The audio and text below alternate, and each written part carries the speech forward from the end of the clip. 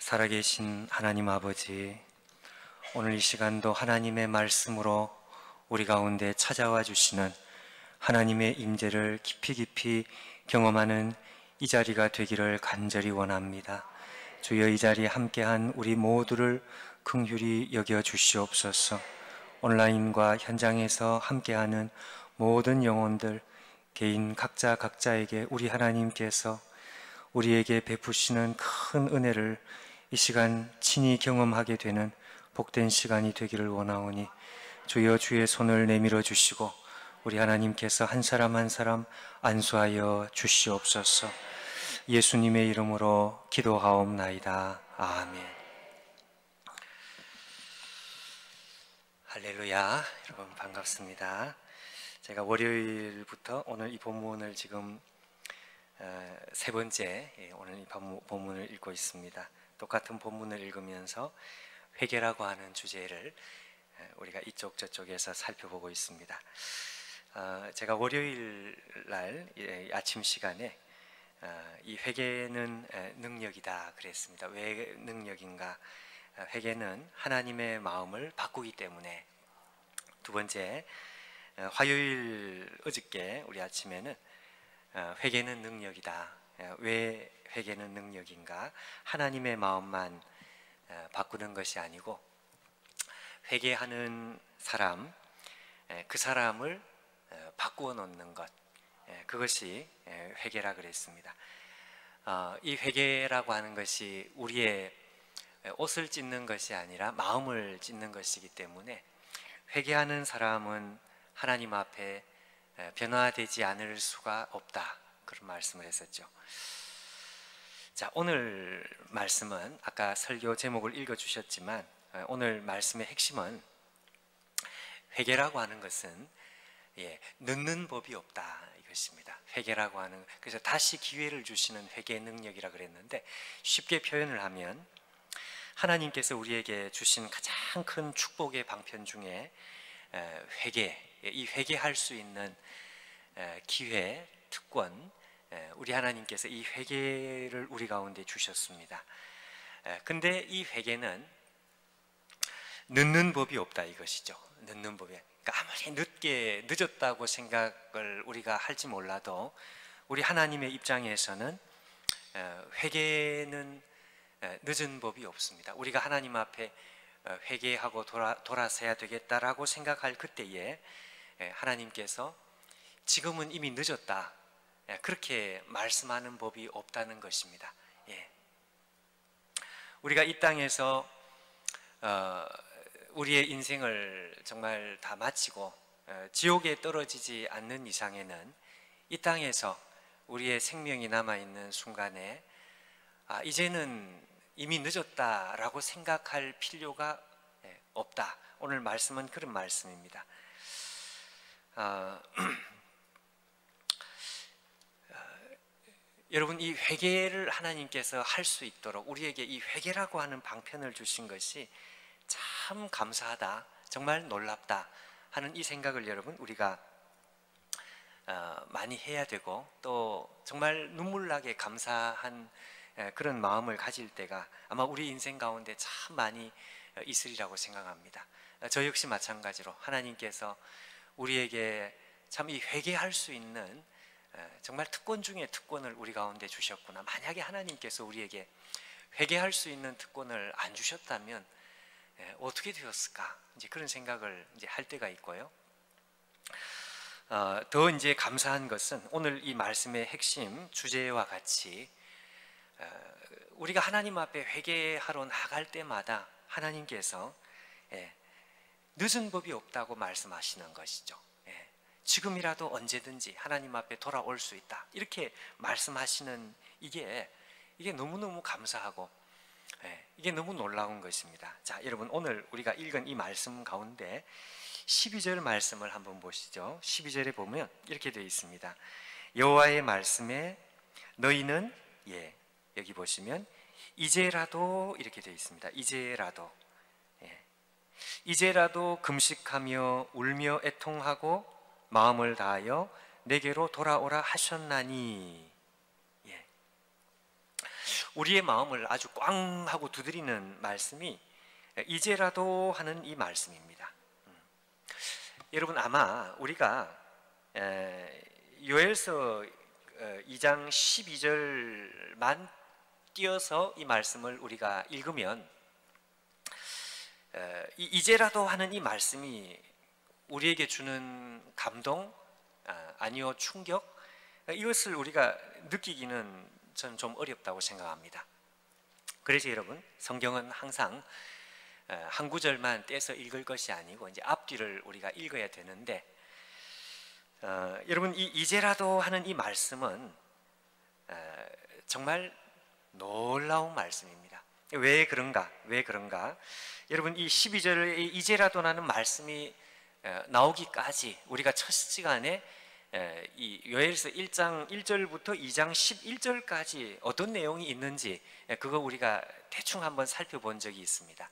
그 생각을 하면은요 어, 앞에 있는 말씀을 쭉 읽어 내려가다가 2장 11절까지 다 읽고 그리고 나서 쉬호흡을 하고 2장 12절 말씀을 우리가 대하면 이 이제라도 하는 이 말씀이 이게 보통 말씀이 아니라는 것을 우리가 깊이 깊이 생각을 하게 되는 것입니다.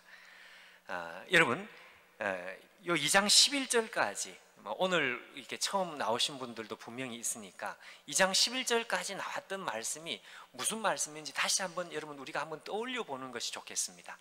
다 읽을 수는 없지만 떠올려 봐요. 한 세 가지로 하나님 백성들이 부딪힌 세 가지의 절망이 나왔습니다.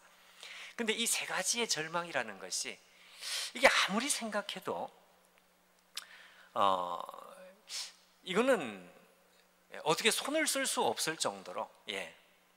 어떻게 할 수 없을 정도로 예. 이건 이미 늦었다는 생각을 정말 할 수밖에 없을 정도로 예. 절망 절대 절망이었습니다. 예. 한번 우리가 생각을 해보십시오. 예, 첫 번째, 두 번째, 세 번. 첫 번째는 메뚜기 재앙이었습니다. 하나님께서 메뚜기의 재앙을 보내시는데 그 메뚜기 재앙으로 어, 이스라엘의 모든 그 먹을 것이 그냥 한순간에 깨끗하게 사라지는 근데 문제는 그 먹을 것이 하나님께서 주신 풍요와 축복의 상징 무화과 나무와 포도나무의 열매들을 그대로 깨끗하게 쓸어 먹는 어, 자 여기까지만 해도 우리가 이게 그렇게 큰 것인지 실감이 잘 나지 않을 수 있습니다. 근데 두 번째 절망은 메뚜기 재앙은 이건 맛보기에 불과하다 그랬어요. 맛보기에 불과하다. 네. 어, 메뚜기 재앙이 어느 순간에 쓱하니 어, 이 모습이 바뀌어 가지고 어, 뭘로 바뀌었느냐? 에, 전쟁으로 바뀌었습니다. 메뚜기 재앙보다 더 무서운 것은 에, 전쟁의 재앙입니다. 여러분 전쟁은 정말 정말 무섭습니다. 예. 합법적으로 인간의 죄성이 마음껏 마음껏 어, 이 폭발을 시켜도 어느 누가 제재할 수 없는 그러니까 말, 말 그대로 무법천지죠. 예, 전쟁하는 중에도 무슨 그 뭐 뭐 이 유엔에 무슨 합의되어져 있는 무슨 뭐 윤리가 있고 이래 없습니다, 여러분.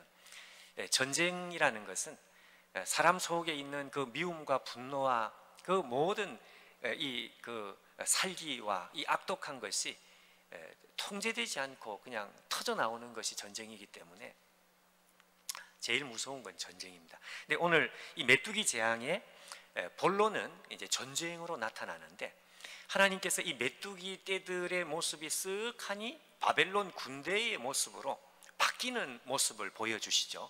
예, 이게 이게 이스라엘이 부딪힌 두 번째 절망이었습니다.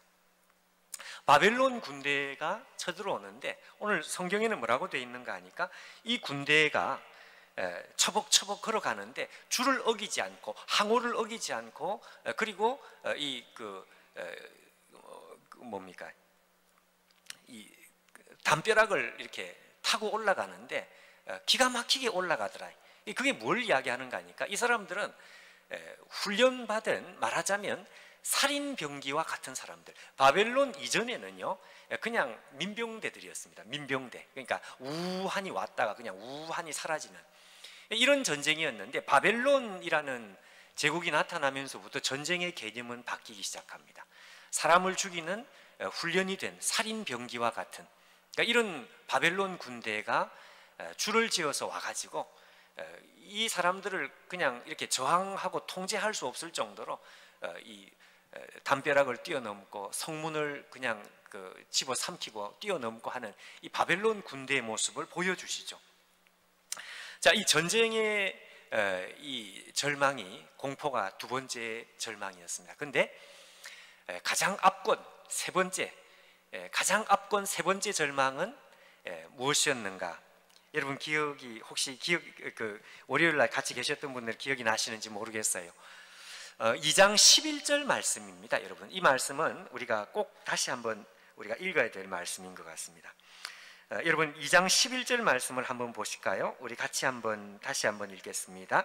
시작. 여호와께서 그 군대 앞에서 소리를 발하시고 그 지는 심이 크고 그 명령을 행하는 자는 강하니 여호와의 날이 크고 심이 두렵도다 당할 자 누구이랴. 이 세 번째 절망인데 이게 압권 중에 압권이었습니다. 하나님께서 그 군대 앞에서 소리를 발하시고 여러분 그 군대가 어떤 군대? 바벨론 군대. 이스라엘을 죽이겠다고 살인 병기들을 끌고 오는데 근데 바로 그 바벨론 군대 맨 앞에서 말이죠. 예.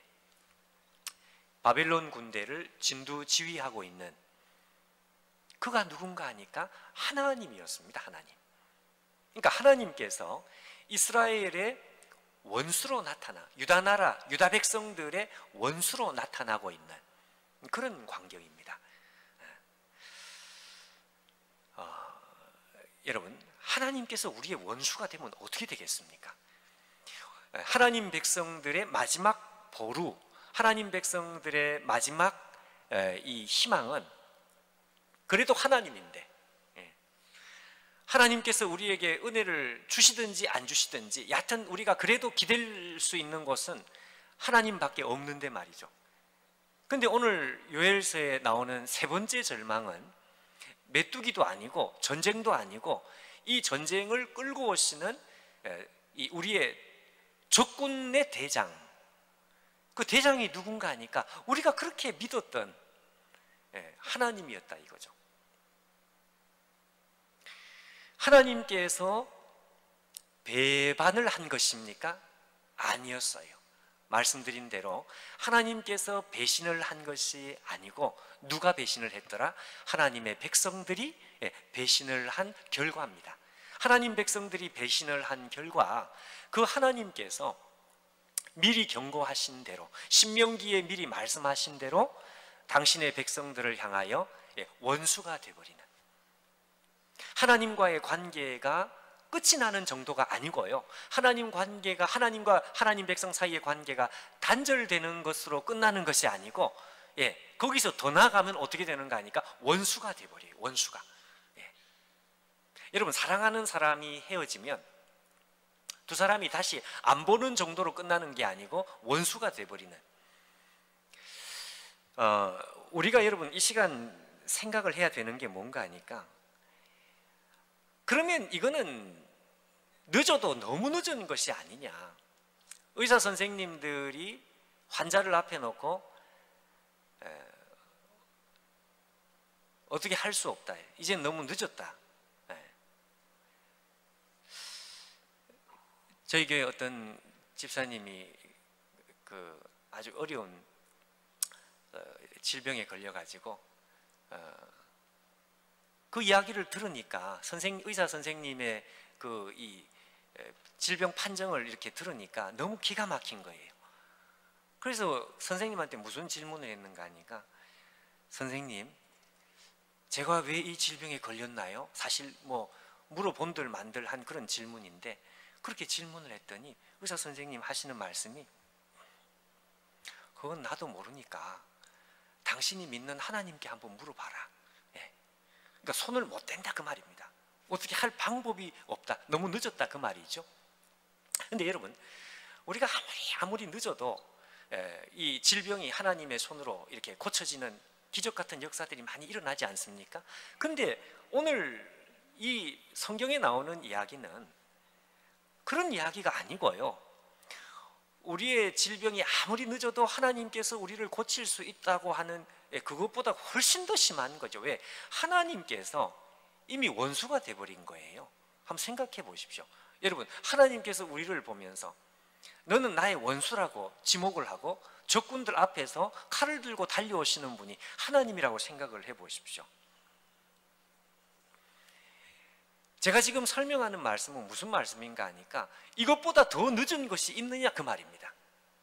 아니 이것보다 더 큰 절망이 있느냐 그 말이에요. 우리의 질병도 아니 어떤 문제도 세상에 이것보다 더 심각한 것이 있겠느냐. 늦었다 늦었다 그래도 이것보다 더 늦은 절망적인 상황이 예, 있겠느냐 그 말씀입니다. 없겠죠. 이거보다 더 심한 것은 없겠죠.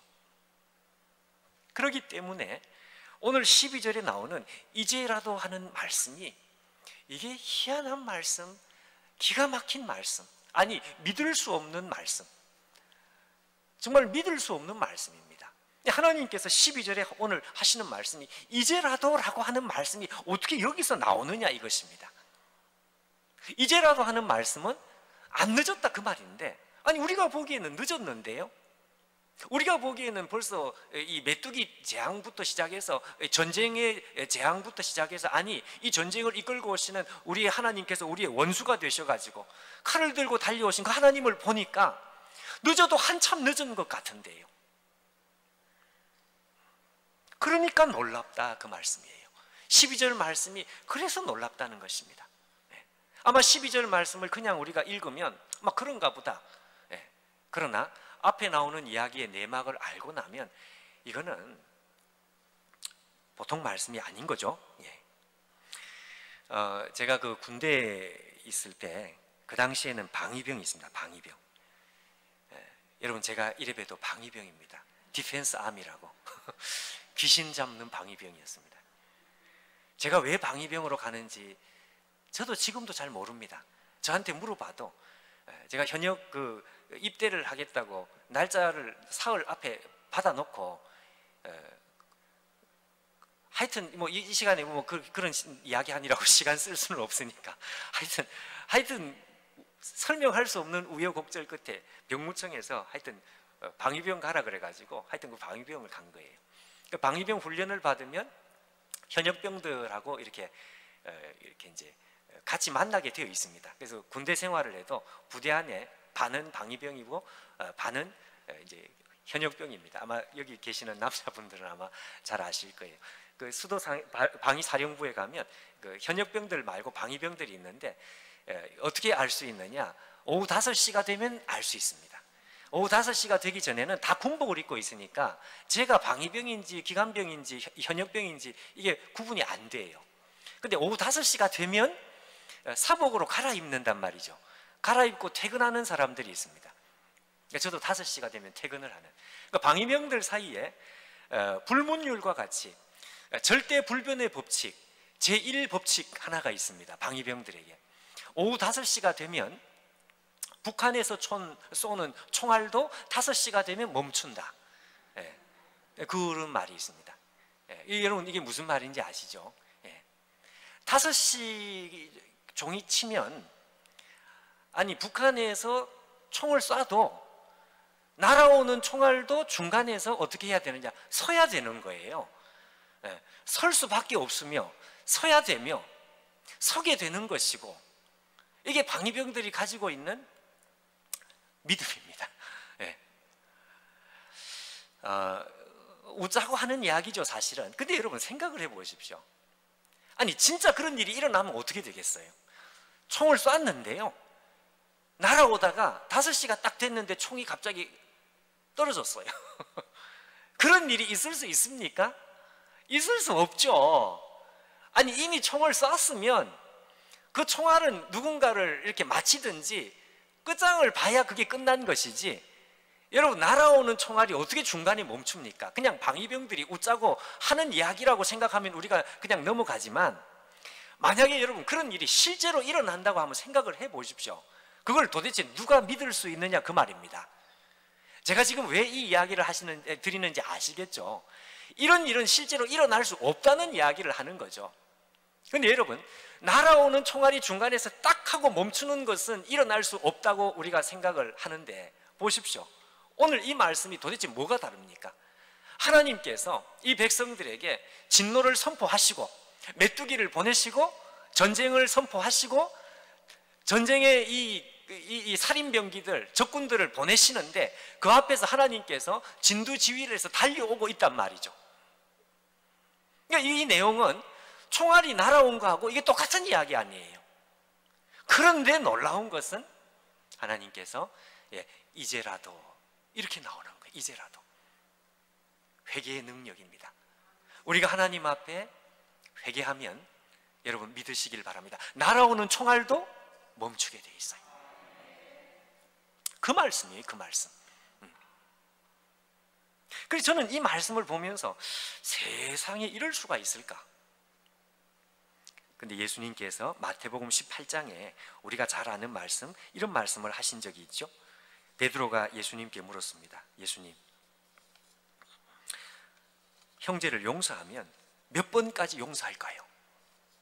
일곱 번까지 할까요? 베드로는 어, 자기가 할 수 있는 최고의 그 프로포즈를 제안을 한 것입니다. 일곱 번 정도면 충분한. 예수님께서 하시는 말씀이 아니야. 이런 번씩 일곱 번이라도 할지니라. 이런 번씩 일곱 번이면 490번인데 그럼 여러분 490번 횟수를 재 가지고 490번 그런 뜻이 아니죠. 예. 이거는 뭔가 하니까 예, 끝이 없다 그 말입니다. 끝이 없이 용서할 거예요. 이건 뭘 이야기하는가 하니까 하나님께서 우리를 대하시는 하나님의 방식, 다시 말해서 하나님께서 회개하는 자들을 향해서 가지고 계시는 하나님의 마음, 우리 하나님의 우리를 대하시는 방식, 음. 그걸 말씀하는 거죠. 예. 어, 저는 목회를 이렇게 하다 보니 정말 모든 목사님들이 다 그러시겠지만 임종을 이렇게 같이 이렇게 볼 기회가 있습니다. 요즘은 코로나니까 이제 그런 시간이 이제 별로 없을 수밖에 없는데 임종을 이렇게 맞이하는 분들 중에서 정말 가끔 예, 정말 특별한 경우가 있어요. 아마 여러분들도 경험하셨을 텐데 한 평생 예수님 없이 살았습니다. 한 평생 하나님 인정 안 하고 내가 인생의 주인이네 그러고 살았단 말이죠. 네. 근데 마지막 순간에 그 따님이 따님이 아버지 돌아가시는 것이 안타까운데 믿음 없이 돌아가는 것이 돌아가시는 것이 이게 너무 안타까우니까 너무 괴로우니까 전도하고 또 전도하고 그 처음에는 마음이 안 열리다가 조금 마음이 열리고 나중에는요 아, 그 마음이 이렇게 움직이는 거죠 움직여 그리고 그 마음에 두려움이 생기는 거예요. 여태까지는 그런 두려움이 없었습니다. 죽는 게 두려운 게 아니고 죽음 이유가 두려운 거예요. 여러분, 이게 참 놀라운 것입니다. 사람들 여러분 죽는 거 별로 안 두려워하는 사람들도 있습니다. 근데 임종에 갔을 때 제가 이제 물어봐요. 뭐, 가 두려우신가 물어보니까 눈을 감는 게 두려운 게 아니고 눈을 감고 그 다음이 도대체 어떻게 되는지가 두렵다는 거예요. 그게 벌써 하나님의 은혜라는 걸 제가 직감을 했습니다. 아, 사람이 예전에는 이런 생각을 안 했는데요. 음. 근데 복음을 듣다 보니까 마음에 그런 두려움이 생기는 거예요. 정말 짧은 시간입니다. 그리고 인생의 시간이 이제 얼마 남지 않았습니다. 이제 마지막에 임종하기 전에 손을 붙들고 어, 예수님을 믿고 하나님을 믿으면 어, 두려워하실 거 없으시다. 우리가 피조물이 하나님 앞에 어, 다 서글 수밖에 서게 될 것인데 우리가 그리스도를 믿으면 하나님께서 우리를 용서하시고 당신의 자녀로 받아주실 지금도 늦지 않습니다. 지금도 늦지 않으니 손을 잡고 기도하시고 예수 그리스도를 믿으시겠느냐? 그때 눈물을 흘리고 내가 예수님을 믿고 싶습니다. 여러분, 그 사람을 예수님께서 쫓아내시나요? 네, 아니죠. 음. 네가 오늘 나와 함께 낙원에 있으리라. 누가복음 23장. 장례식장에 가서 제가 장례식 설교를 어, 세번 해야 될 것 같으면 막 무조건 반드시 그 본문을 저는 읽습니다. 왜? 왜 그 본문을 읽을까요? 너는 오늘 나와 함께 낙원에 있으리라는 그 오늘이라는 말 때문에 그렇습니다. 오늘이라는 말 때문에. 지금부터 글쎄 몇 년인지 제가 대학교 한 4학년 때였던 것 같은데 그 학생 시절에 A.W. 핑크라고 하는 유명한 성경 교사가 쓴 그 가상칠언이라는 책을 보다가 그 너무너무 은혜를 받은 거예요. 그 책을 보다 너무 감동을 받는데 그 중에 뭘 감동을 받았는가 하니까 오늘 너가 나와 함께 낙원에 있으리라 할 때 우리에게 마음에 큰 감동을 주는 말이 이 오늘이라는 말이라고 설명을 하는 거 있죠. 왜 이 오늘이 감동을 주느냐? 여러분 가톨릭에서는 우리가 죽으면 무슨 뭐 연옥이니 무슨 그런 이야기를 하는데 성경은 그런 거 없습니다, 여러분. 그런 과정은 없어요. 육신의 생명이 끝이 나는 그날, 오늘입니다. 오늘. 너가 오늘 나와 함께 낙원에 있으리라. 야, 그렇구나. 육신의 생명이 끝이 나는 바로 그 순간.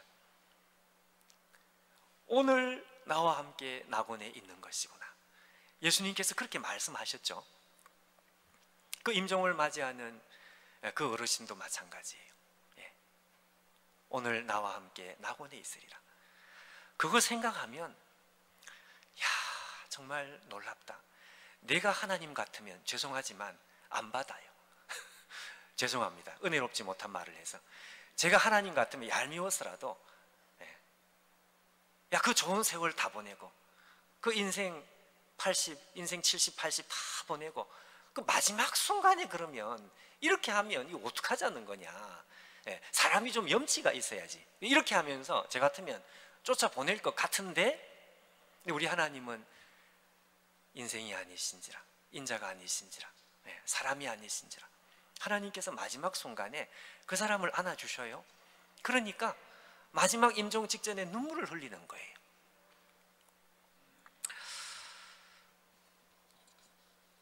여러분 오늘 성경이 우리에게 말씀하는 하나님께서 우리에게 최고의 축복의 방편을 주셨는데요. 그것은 회개라고 하는 것입니다. 회개. 우리가 회개할 수 있다고 하는 이 땅에서 회개할 수 있다고 하는 이게 얼마나 이것이 좋은 것인지. 근데 더 놀라운 것은 회개라고 하는 것은 예, 늦은 법이 없다 이거죠. 늦은 법이 없어.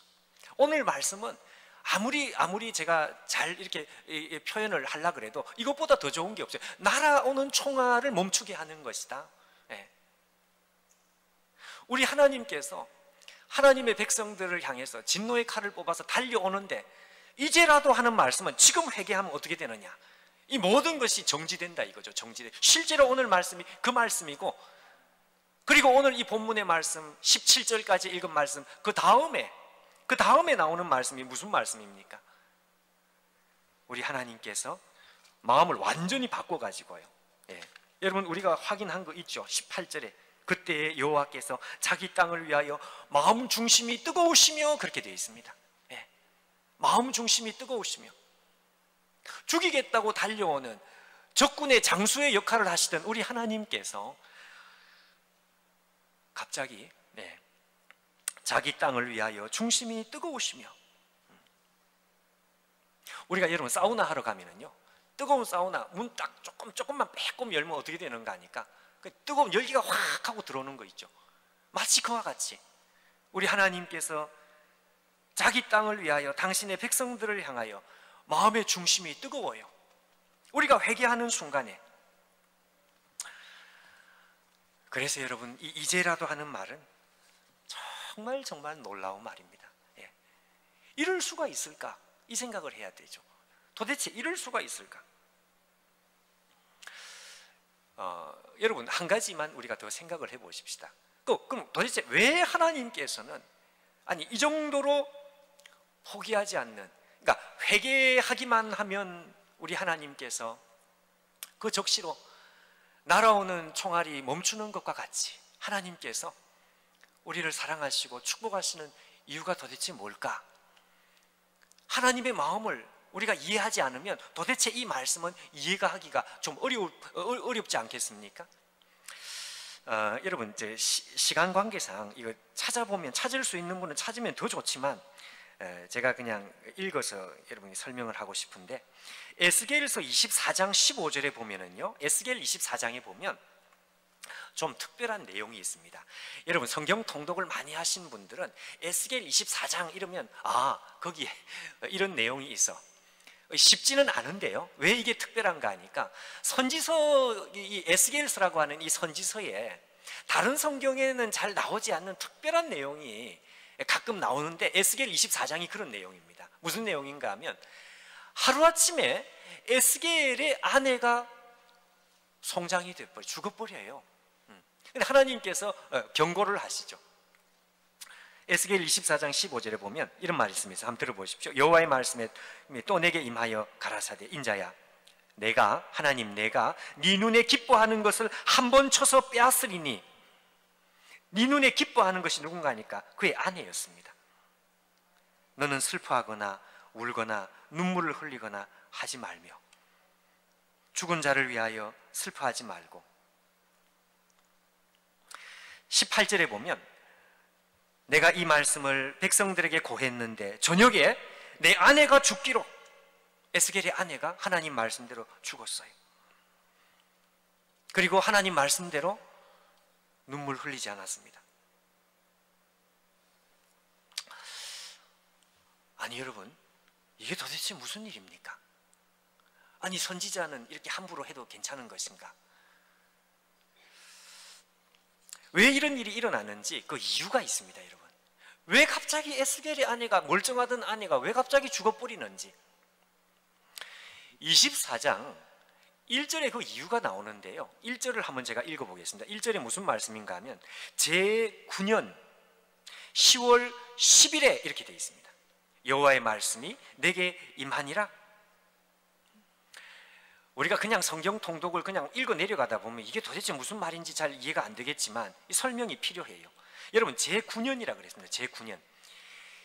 제9년 예루살렘이 이 에스겔이 말씀을 받았을 때부터 제9년, 이 제9년이 언젠가 하면은요. 589년입니다. 제9년이라는 것은 에스겔이 말씀을 받고 난 제9년. 이게 589년이다 그 말입니다. 이게 왜 중요하냐? 여러분, 예루살렘이 말이죠. 바벨론에 포위가 될 때, 그때가 제9년입니다. 이게 중요합니다. 예루살렘이 바벨론에 포위가 된다고 하는 것은 끝난 거예요, 사실은. 이제 생명이 떨어질 날만 기다리고 있는. 여러분, 성을 뺑 둘러가지고 포위를 하니까 이제 공성전을 하는 것인데 예루살렘은 살아날 방법이 없습니다. 먹을 것이 떨어질 것이고 마실 물이 떨어질 것인데 3년 동안 버티다가 결국은 예루살렘이 완전히 박살나죠. 이때였습니다. 이때. 이때 하나님께서 에스겔에게 특이한 말씀을 하신 거예요. 예루살렘이 포위될 그때에 하나님께서 뭐라고 말씀하시는가 하면 에스겔아 내가 너의 기뻐하는 것을 칠 것이다. 미안하지만 너 눈물 흘리지 마. 여러분, 하나님께서 에스겔에게 왜 이런 말씀을 하시며 그것을 그대로 그대로 이스라엘 백성들한테 이 말씀을 전하라고 하시는 이유가 뭔가 하니까요. 하나님의 마음을 네가 전달해 달라 그 말입니다. 예루살렘이 포위가 되는 순간 하나님의 마음은 어떤 마음이었느냐?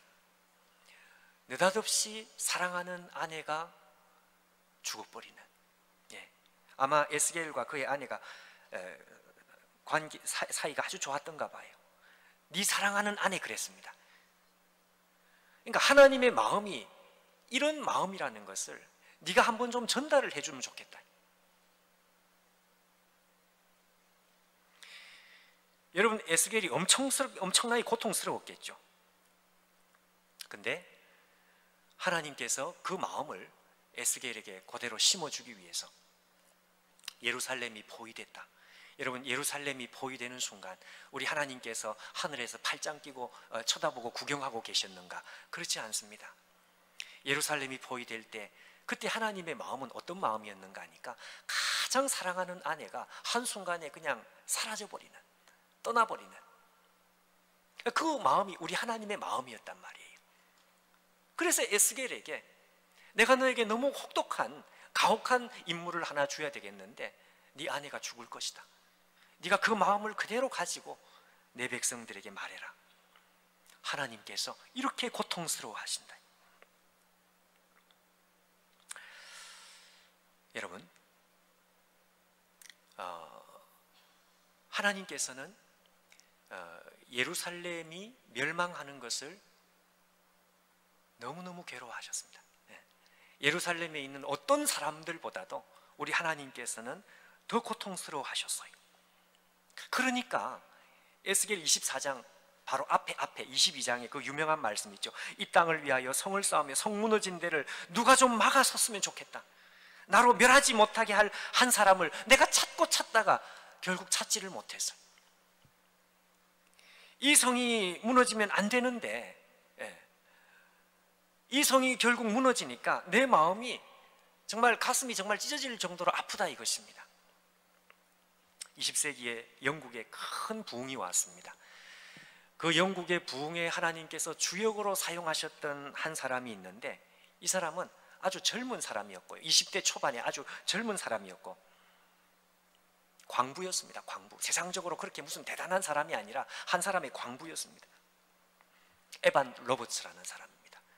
이 에반 로버츠라는 사람을 통해서 웨일즈의 대부흥이 왔어요.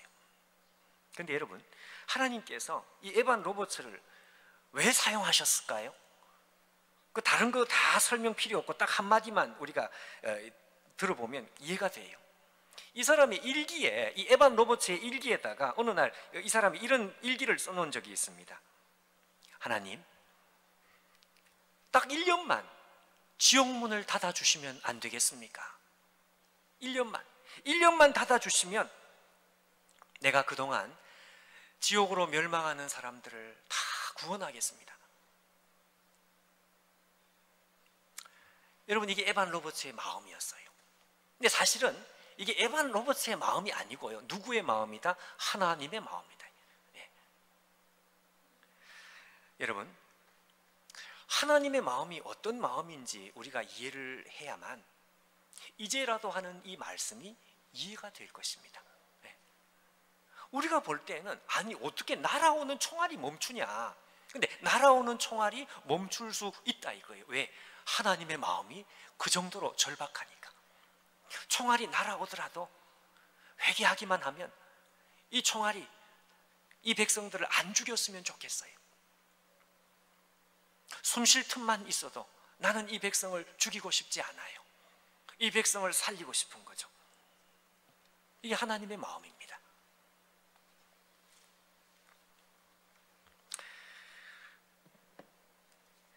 그 여러분 교도소 사역, 서울 교도소 사역을 오래 하셨던가 아마 박효진 장로님 여러분 잘 아시죠?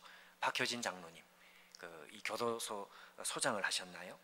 예, 그러면서 이 장로님 많은 사람들 전도하는 그 간증 참 은혜롭게 그 간증 예, 그 많이 하셨어요. 그 그분의 간증을 제가 참 은혜롭게 많이 예, 이렇게 들었는데 그 중에 그 중에 참 그 잊을 수 없는 사람 있습니다. 유두영이라는 사람이 있습니다.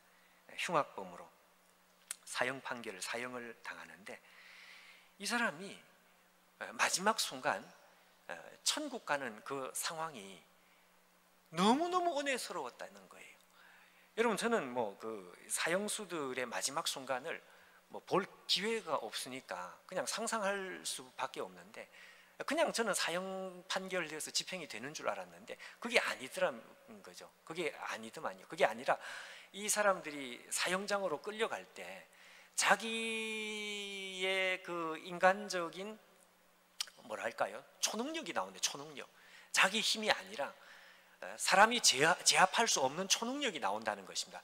무슨 초능력이냐? 사형장에 안 가려고 하는 초능력. 그러니까 보통 사람이 몇 사람이 붙어서 이 사람을 데려가도 감당이 안 될 정도로 예, 그러니까 그 사람 사람들이 그 정도로 이 공포에 질린다는 것입니다. 그래서 이 사람에게 사형 판결이라고 이야, 사형하는 순간이라고 이야기를 안 하고 어, 나중에 이야기를 해야 될 정도로 심지어는 그렇게 흉악한 사람도 눈에 동공이 풀리고 몸에 힘이 빠지면서 자기의 이그 인간이 본능적으로 죽음을 맞아야 되는 그 순간에 이게 감당이 잘 안 된다 그래요. 근데 이 유두영이 은혜를 받아가지고요. 네. 이 사형장에 가는데 마지막 사형 판결을 받기 전에 어, 그 재판장들 앞에서 이 사람이 한마디 하더라는 것입니다. 음. 사람이 사형 판결 받기 전에 어, 사형 집행이 되기 전에 그 사람이 어, 지은 죄를 쭉 낭독을 하고 당신이 사형 집행을 당하는 이유는 이런 이유 때문이다. 이걸 낭독을 하는 것이 합법적인 그, 그것이 이제 법적으로 과정이 있어야만 되고 그게 없으면 안 된다네요. 그래서 그걸 낭독을 하려고 하니까 어, 이 유두영이가 어, 손을 들고 하는 말이 지금 읽으려고 하는 그 죄는 전부 제가 다 지은 죄다. 내가 예수를 모를 때 지은 죄다. 네. 내가 이제 하는 하나님 앞으로 갈 텐데 내가 하나님 앞으로 가는 마지막 순간에 어, 내가 지은 그 죄를 내 귀로 듣고 가고 싶지가 않으니까 그거 읽지 말아 달라. 음. 그러면서 나는 깨끗해진 몸, 깨끗해진 영혼, 깨끗해진 그대로 내가 하나님 앞에 갈 것입니다. 뭐 이렇게 간증을 하더라는 거예요. 여러분, 우리 하나님의 인내하심은 정말 끝이 없는 것 같아요. 예. 하나님께서 한 사람이 돌아오는데 어느 누구도 물리치지를 않아요. 음. 이제라도, 이제라도.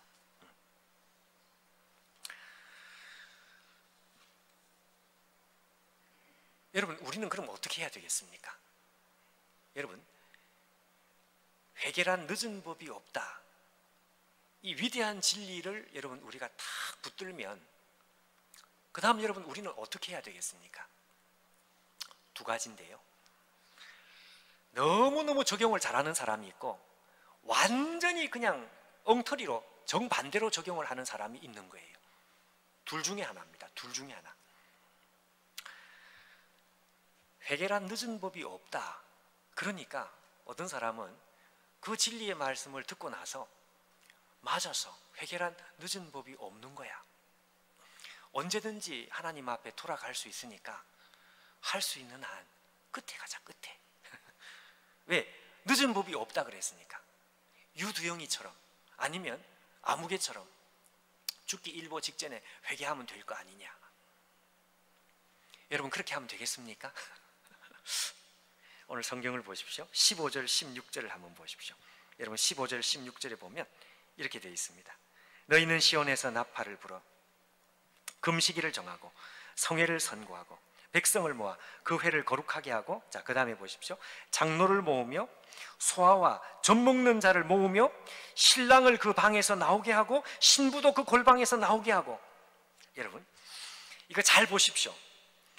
하나님께서 지금 무슨 말씀을 하시는가 하니까 회개의 긴급성, 긴급성, 긴급성이라는 말 아시죠? 긴급성을 요청하고 있습니다. 장로가 나와야 되고 어린 아이도 나와야 돼요. 심, 심지어는 젖 먹는 아이도 회개의 자리로 나와야 돼요. 근데 여기서 가장 압권이 뭔가 하면요. 마지막에 신랑이 그 방에서 나오며 신부도 그 방에서 나오라 그렇게 되어 있습니다.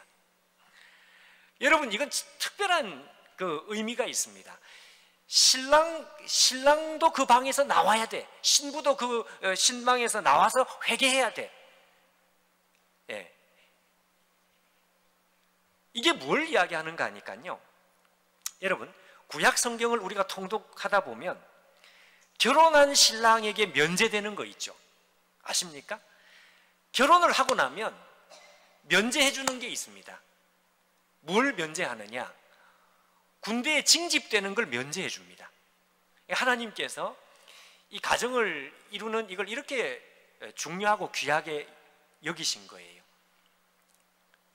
무엇보다 전쟁보다 중요하게 생각한 것입니다. 근데 여러분, 어, 여러분 전쟁보다 시급한 게 어디 있습니까? 근데 오늘 뭐라고 되어 있는가 하면 그 신랑과 신부도 나오라 이거예요. 그 무슨 이야기인지 아시겠죠? 그 신랑과 신부도 전쟁이 나서도 예외를 시켜줬는데 전쟁이 나서도 예외를 시켜주었던 그 신랑 신부도 회개의 자리에 나오는 것은 예외가 될 수 있다 없다? 없다 이거예요. 없다. 무슨 말씀인지 아시겠죠? 그러니까 신랑과 신부도 그 골방에서 나오라 하는 이야기는 전쟁보다 회개는 더 시급하고 아니요. 다른 어떤 것보다도 가정을 이루는 것보다도 더 시급하고 여하튼 이것보다 더 시급한 것은 없다고 말할 정도로 가장 시급한 것. 자, 그러니 여러분, 오늘 하나님께서는 무슨 말씀인가 하면 회개란 늦는 법이 없다. 그렇기 때문에 어떻게 적용을 하라? 아, 천천히 내가 언제든지 돌아가면 된다 그랬으니까 죽기 전에 회개하면 되겠네. 그거는 여러분, 그거는 십자가의 원수라 그럽니다. 십자가의 원수. 사도 바울의 표현으로. 그거는 완전히 돌대가리 되는 거예요. 하나님께서 그렇게 하라고 우리에게 회개는 늦은 법이 없다. 이제라도 이런 말씀을 주시는 것은 그렇게 하라고 주시는 것이 아니다 이것입니다. 회개는 늦은 법이 없으니까 천천히 가자. 이거는 하나님 말씀을 완전히 거꾸로 뒤집어 놓는 일입니다. 무슨 말씀인지 아시죠? 네. 그럼 어떻게 해야 되느냐? 회개란 늦은 법이 없기 때문에 어떻게? 우리 입장에서 생각을 하면 안 되고요. 우리를 끝까지 기다려 주시는 하나님의 이 답답한 마음, 기다리는 마음, 뜨거운 마음, 애끓는 마음, 그 하나님의 입장에서 볼 때에 지금 즉시죠, 즉시. 미루지 않고 긴급성. 회개란 늦은 법이 없기 때문에 그러기 때문에 천천히 하자가 아니고요. 회개란 늦은 법이 없기 때문에 그러기 때문에 하나님 앞에 미루지 않는 것입니다. 오늘, 지금 하나님 앞에 미루지 않고 하나님 앞에 나오라 이거예요. 그 말씀입니다. 그 말씀.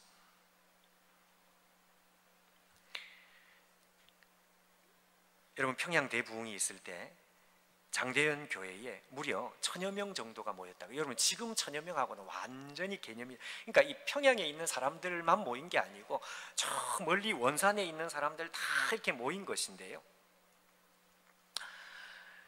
그 평양 대부흥의 그 현장에 그 사경회에 참석하려고 에, 어떤 사람은 300리를 걸어서 왔다 이런 말이 있습니다. 300, 여러분 300리가 몇 킬로입니까? 300리면 120km 맞습니까? 네. 여러분 120km면요 어딘가 하면 서울에서 출발하면 저 철원 넘어서 네. 그 120km 대충 여러분 자동차 운전할 때 120km 그 120km를 걸어서 왔다 이거예요. 그러니까 사람들 마음에 이 하나님 앞에 이 은혜 받겠다고 하는 이 갈급한 이 긴급성이 얼마나 이 마음이 뜨거웠는지 그런 사람들에게 하나님께서 은혜를 주시더라. 은혜를. 네. 야, 이 갈멜산 기도원에 이렇게 사람들이 오는 것이 참 여러분 감사하지 않습니까? 지금 이 우리가 코로나니까 이렇게 어, 온라인으로 이렇게 하지. 그래도 여러분 이 사람들이 이렇게 오는 게 뭘 말? 하나님 앞에 은혜 받고 싶은 마음의 긴급성이 있으니까 그렇죠. 제가 그, 그 여러분 중국에 그 처음 갔을 때가 2004년인가 아마 2005년인가 아마 그렇습니다. 그때 그, 그 옛날에 그 상해에 제가 처음 갔을 때 왜 처음에 중국에 갔느냐? 중국 가정교회 그 당시만 해도요. 가정에서 이렇게 성경 강의를 하고 이러면 공안들이 들이닥치는 그런 시기였습니다. 그래서 제가 그때 가서 뭘 했는가 하면 아모스 성경 공부를 했습니다. 처음부터 아모스 끝까지 성경 공부를 그 누구를 대상으로 했느냐? 여러분 그 가정교회 지도자들이 있거든요. 그 사람들을 중국 사람들은 동일할 동자에 함께 노력한다. 동공, 동공이라는 말을 아시지? 아마 중국어, 그러니까 우리 우리 말로 말하면 헬퍼. 그러니까 이 사람들이 가정교회의 지도자들인 거예요. 그러니까 이 사람을 중심으로 우리로 말하면 구역 정도의 이 교회가 다 형성이 되어 있는데 이 가정교회 지도자들이 상해에 있는 사람들만 온 게 아니라 세상에요. 여러분 상, 중국 지도를 나중에 보시면 상해에서 내몽고 내몽고에서 버스를 2박 3일 타고 그 자리로 온 거예요. 무슨 어떻게 그 소문을 들었는지는 모르겠어요. 내몽고에서 와가지고요. 2박 3일 버스를 타고 예. 어떤 여성분들이 두 분이 저한테 나중에 요만한 무슨 그 멸치 무슨 캔을 가지고 저한테 이렇게 감사하다 이러면서 그걸 주시는 거예요. 그 이분들이 그 마음에 표현할 게 없으니까 그걸 주시는데 제가 물어봤죠. 어디서 오셨느냐 그랬더니 내몽고에서 왔대. 2박 3일을 타고 온 거예요. 차를 2박 3일을 타고. 근데 세상에 여러분 아침 9시 전부터 강의를 시작하는데 언제 강의가 끝나는가 하니까 밤 11시에 끝나요. 아니 강사도 사람인데 제가 중간에 그 생각을 했는데 이 사람들이 미동도 하지 않아요. 밥 먹는 시간 잠깐 화장실 중간에 한 번 가고 그러고 나서 그대로 요 자세로 한 마디도 놓치지 않고 이걸 다 적는 거예요. 그걸 왜 다 적느냐? 이걸 적어 가지고 자기 양떼들에게 이걸 먹여야 된다 이거죠. 제가 성경을 그대로 있는 그대로 설명을 하니까 그걸 그대로 다 적었어요. 제가 얼마나 마음에 그때 감동을 받았는지 몰라요. 중간중간에 공안이 한번 들이닥치면 다 숨고요.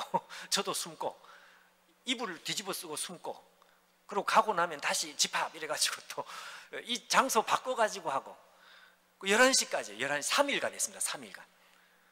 그 다음에는 안 갔죠. 너무 힘들었어. 농담입니다, 여러분. 하여튼 너무너무 정말 대단했어요. 너무너무 열정이 대단했어요. 그 사람들 마음 속에 있는 그 긴급성입니다. 긴급성. 내가 하나님 말씀을 내가 가지고 와서 이 영혼들을 먹여야 되겠다고 하는 은혜를 받아야 되겠다고 하는 이 긴급성.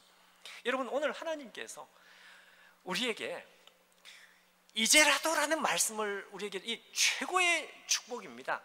우리에게 주실 수 있는 최고의 늦은 법이 없으며 날아오는 총알도 멈추며 여러분 이 최고의 축복을 우리 가운데 주시면서 그 다음에 우리에게 요청하는 것은 젖먹이도 나오고 장로도 나오고 예, 신랑도 나오고 이 회개는 긴급하다는 것을 말씀하시죠. 여러분 우리가 오늘 이제라도 하는 이 말씀이 이게 얼마나 놀라운 말씀인지를 여러분 우리가 깨닫고 깊이 깊이 우리 마음속에 새겨지면 새겨질수록 우리가 하나님 앞에 회개하는 시간들을 늦춰서는 안 되겠습니다. 예. 하나님 앞에 바로 나가야 되겠어요. 긴급한 마음을 가지고 나가야 되겠습니다. 예. 마치 내일이 없는 것처럼 긴급한 마음을 가지고 우리 하나님 앞에 나갈 때 여러분 그때에 하나님께서 우리에게 주신 이 위대한 방편 회개의 능력이 우리 가운데 나타날 것입니다. 음. 하나님 지옥문을 닫아 주십시오. 하나님 내가 여태까지 도저히 내가 생각해도 상상할 수 없는 하나님 앞에 정말 부끄러운 시간이었는데 도저히 내가 얼굴 들고 하나님 앞에 나갈 수가 없는데 내가 오늘도 이 말씀을 믿고 우리 하나님 앞에 나갑니다. 하나님, 날아오는 총알도 멈춰 주세요. 우리 하나님께서 멈춰 주시는 것입니다. 그때의 여호와께서 자기 땅을 위하여 중심이 뜨거우시며 여러분 은혜 받은 사람들 마음속에는 긴급성이 일어나게 될 것입니다. 오늘 이 말씀이 여러분 이 시간 하나님 우리에게 주시는 말씀 우리의 남은 여생, 우리의 인생을 환하게 비추는 인생의 말씀이 되시기를 주의 이름으로 축원합니다.